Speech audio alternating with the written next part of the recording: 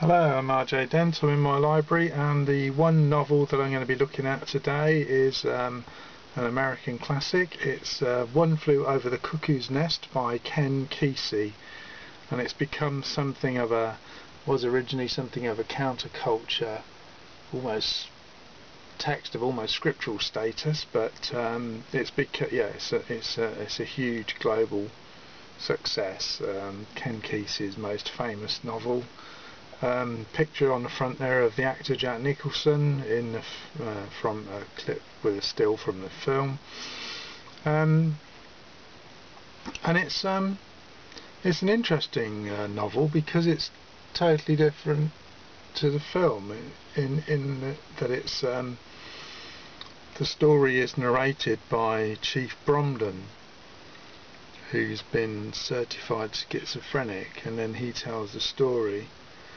of um, a new inmate in an institution, an, in, an inmate, uh, Randall McMurphy, who's um, psychopathic. So it's quite uh, quite an interesting uh, narrative technique that we've got a schizophrenic telling the story of a psychopath.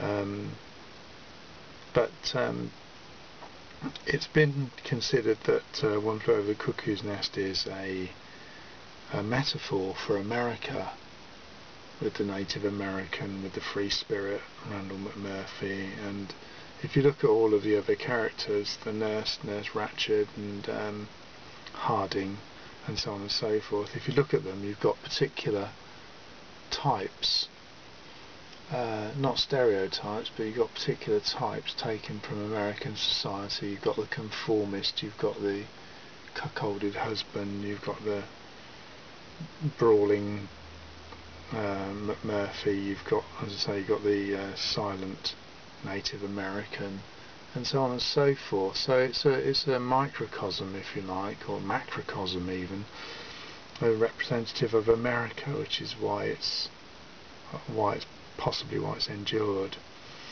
But having said that, metaphors aside, it's a it's a fantastic tale. It's a really good story to read, and um, it's interesting, exciting. The main characters grab you.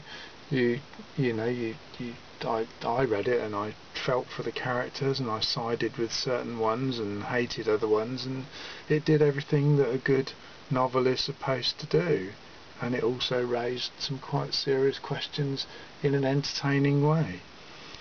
Um, I'm proud to have it in my library. It's uh, One Flew Over the Cuckoo's Nest by Ken Kesey and I would recommend that everyone read it.